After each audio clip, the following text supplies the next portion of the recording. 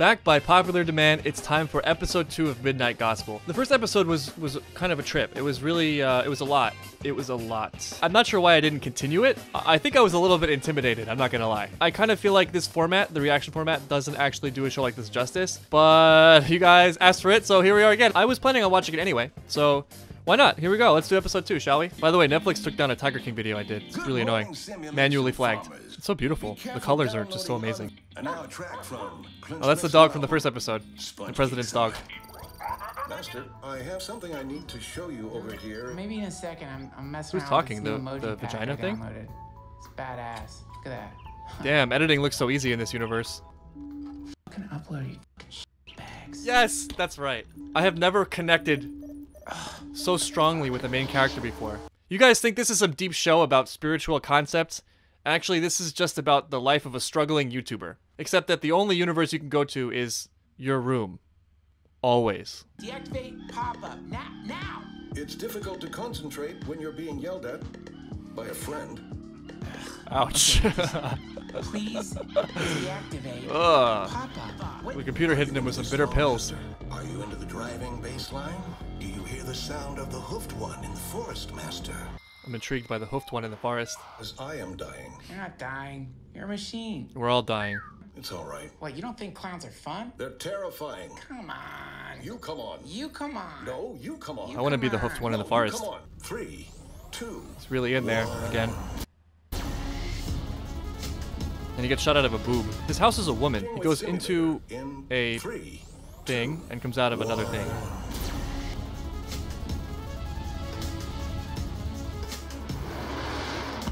I love the travel music. It's so great.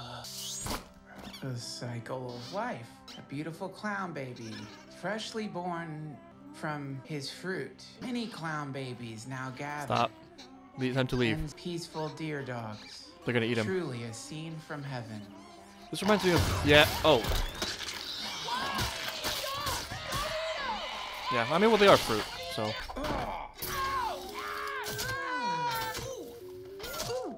Namastics. Nice. Friends in a truck. Oh, I see. They have guest names in it. Are you worried because it seems like we're all about to die? Hmm. It does feel that way, but I've actually had a lot of deaths in my life. Here we go. My dad died, and then my best friend died after I had my baby. Neil, my partner, is a hospice volunteer. So This one's about um, death? There Oh, are so many young people. Finish Midnight Gospel, Alex. It'll be fun. You're gonna have a great time. You're gonna love it. It's so much fun. It's a barrel of laughs. Let's have a wonderful time together watching Midnight Gospel, talking about all the people in our lives who have died and all the loss that we have suffered. I don't get how people recommended that I take hallucinogens while watching this. I don't have the fortitude for that mentally. I'm having a meltdown right now, and we're only six minutes into the into the episode, and I'm sober. Good.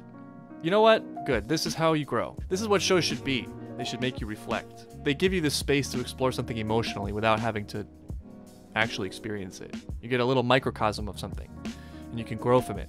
Loss is a tough one, though.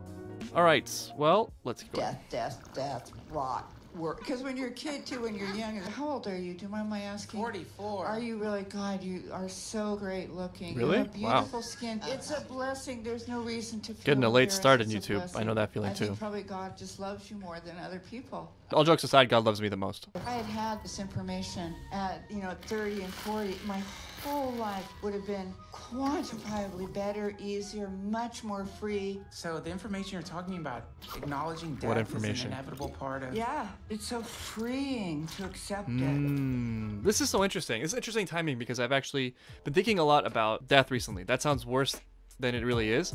What I mean by that is, uh, man, this is a long story that you guys don't want to hear, but here it is anyway.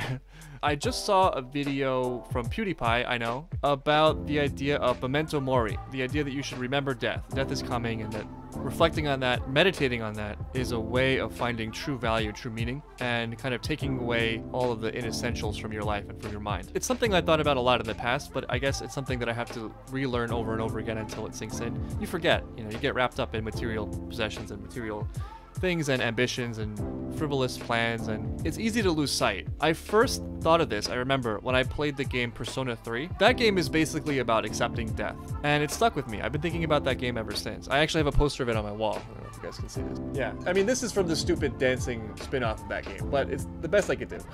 it just reminds me of that. Memento Mori, remember death. Oh, sh- Speaking of material possessions. Talking too much again. I hate to ruin this moment, but I'm gonna be honest with you. I gotta take a. Sh- Do you uh, Great. mind? I just think it was Oh, bad. Good timing, good Um, timing. This one's gonna haunt my dreams. Would, would it help Your dreams? What about Anne? and close- do you feel The stuff that enlivens us and heals Oh, us no. doesn't come on bumper stickers. you Accept your know? It's- deaths. It's hard fought. Accept it faster. It takes.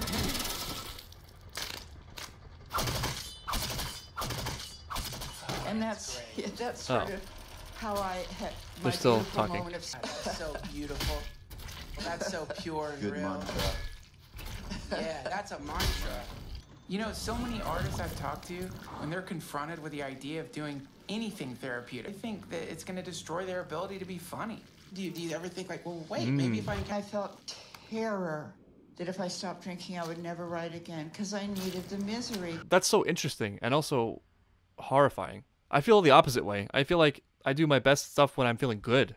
I don't know. Like when I have people around me, when I have friends around me, when I feel confident about the future, that's when I that's when I really do good things. I guess I'm grateful that that's the case and not the other way around.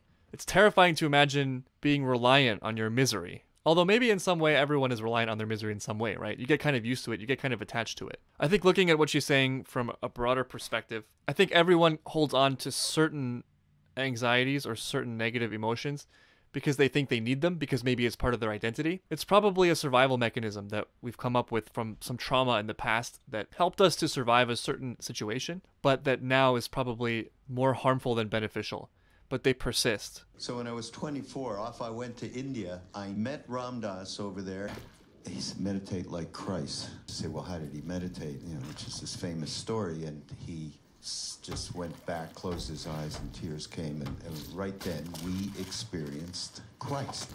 Um, Wow. One of the things Good that stuff. One problem that I have with this show so far in two episodes is that the conversations they have are just way more interesting to me personally than the animation. The animation is good. It's really detailed and beautiful. It's just it's a little bit distracting. I kind of want to just close my eyes and listen to what they're saying. I think I did that in the last episode, right? Yeah, I did. That really gonna take human form. All right, here we go. Here's the chaos part of the the episode. I guess this is the thing.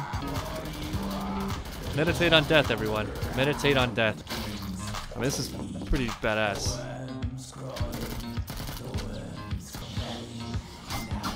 Oh, what the hell? Guess the man.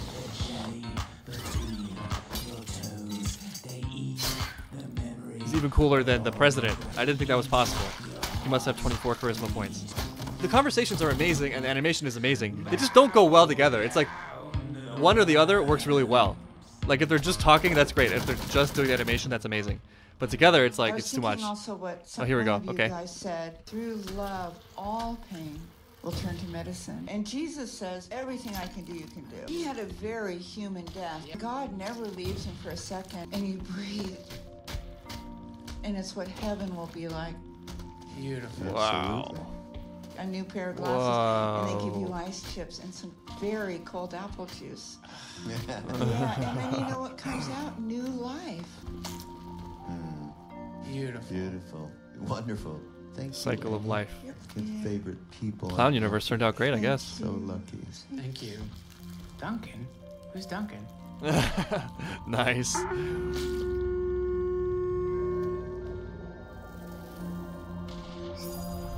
All right, I'm a little overwhelmed.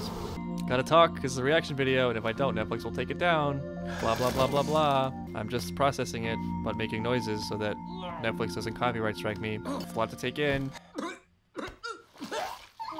No, get rid of it.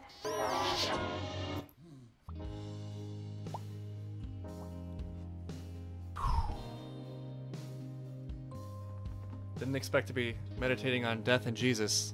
Thank you for making me watch this and, and suffer. Suffer in the most beautiful way. I like that episode a lot better than the first episode. I felt like there was mo- more substance to it. I guess just because personally I'm not that interested in the drug debate, hallucinogenic experiences, drug trips. While I am interested in that and I have my own thoughts on it, it doesn't strike me as as important as death. So this this episode definitely grabbed me in ways the first one didn't. I'm glad that we resumed this series. I hope you guys enjoyed. Sorry if I'm talking too much. I really don't have a choice just because what I've discovered is that Netflix actually goes through videos with a timer. And if you have a, any clip over 30 seconds where you don't say more than like yeah or wow, then they just kill the video and it's gone forever. So gotta find a balance. But I really appreciate you guys watching and I'll see you for episode three. Oh yeah, oh yeah, oh yeah. Uh, like the video. Thanks.